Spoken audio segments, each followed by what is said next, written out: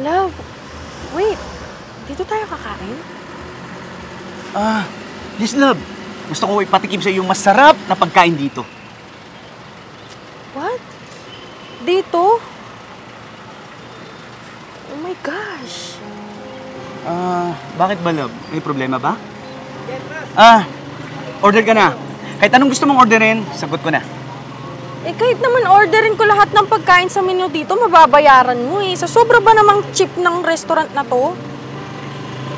Ah, love, affordable kasi dito. Tsaka gusto ko ipatikim sa yung sobrang sarap na luto dito. Kaya sigurado ako, balik-balikan dito yan. Seriously, Tons?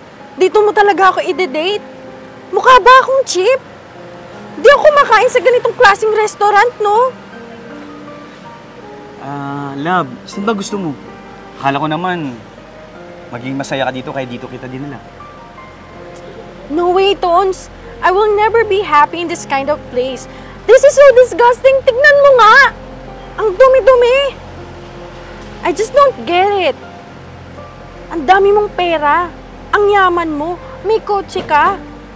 Tapos, dito mo ako dadalhin? Hindi ka ba nahihiya? Kalalaki mong tao? Dito mo dadalhin yung girlfriend mo? Hindi ako pwede dito. Dapat sa mamahaling place ako, no? Ah, babe, di naman siguro masama kung dito kita dinala, di ba? Nakakatuwa nga kasi may ganitong oring restaurant.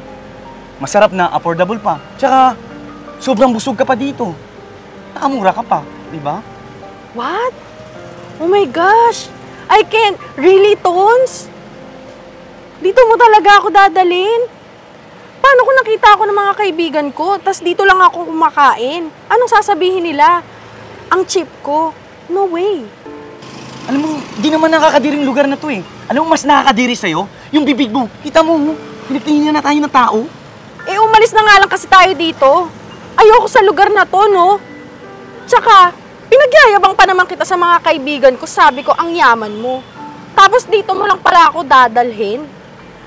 Grabe, Tons. Nakakahiya ka. You're so cheap like this restaurant. Si Leia ba yun?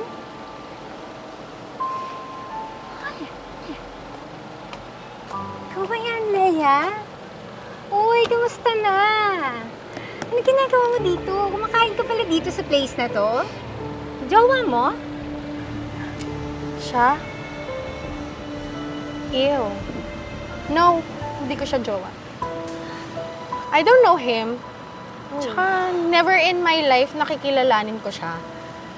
You know, nanlilimos, kaya, ano, I was about to treat him. Ililibre ko ng food. Ikaw, anong ginagawa mo dito? Ang bait mo naman pala. Wala lang, nakita kasi kita. Nagulat lang ako, ba't anong ginagawa mo dito? Kumakain ka rin pala sa ganitong klaseng lugar. Di ba sabi mo hindi ka kumakain sa ganitong type of place? Oh yes, never talaga. Gosh, hindi nababagay yung beauty ko dito, no? Dapat sa akin dun sa mga mamahaling restaurant, hindi katulad nito. Ew. Grabe ka naman, Leia. Alam mo, actually, favorite place ko din to eh. Kasi, bukod sa affordable na yung mga pagkain nila, ang sasarap pa ng luto dito. Why not you try it? What? Really? Oh my gosh. I just don't get it. Ang cheap niyong dalawa. Hindi ko alam ba't kumakain kayo dito. Tsaka hindi ko alam ba't tinayo pa tong restaurant na to. Eh alam naman nating walang kwenta to. Kapobo. Pero, teka lang, Lea, ha? Oo, mahal kita. Pero yung pagsalitaan mo na hindi maganda yung tao dito, hindi naman yata tama yan. Alam mo ba? Choice mo naman kung kumain ka sa ibang restaurant eh. Wala nang problema doon. Pero yung pagsalitaan mo hindi maganda yung tao nandito na kumakain, tsaka yung nagpatayo ng restaurant na to, hindi yun maganda. Alam mo ba yun? Tons, can you please stop? Bakit ano bang pakialam mo sa mga taon dito? Gusto mo malaman? Kung bakit mayaman ako pero dito pa rin ako kumakain? Hindi mo ba alam na itong restaurant na to, pagmamayari ko? What? Oo, Leia. Sariling business ko to. Ito yung nagpayaman sa akin. Sa bagay, I don't blame you dahil galing ka sa mayaman na pamilya. Hindi nyo na-appreciate yung small business. Sorry, love. didn't know.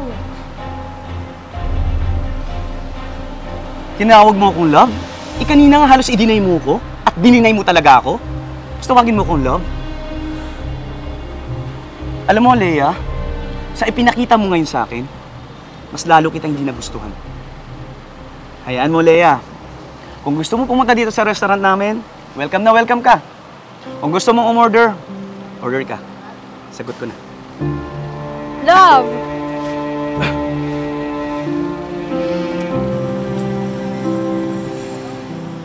Alam mo, Leia, kung talagang mahal mo ang isang tao, dapat matutunan mong mag-adjust kung ano yung kinalakihan nilang buhay. Hindi pa naman huli ang lahat.